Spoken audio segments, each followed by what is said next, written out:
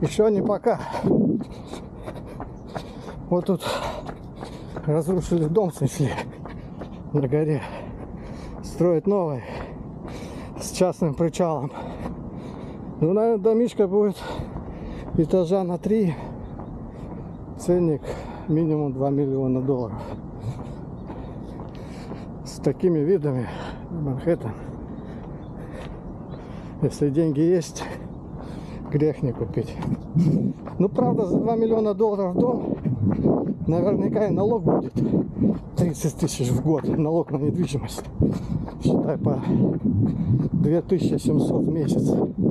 Просто отстегивать за то, что ты живешь в таком крутом районе на воде.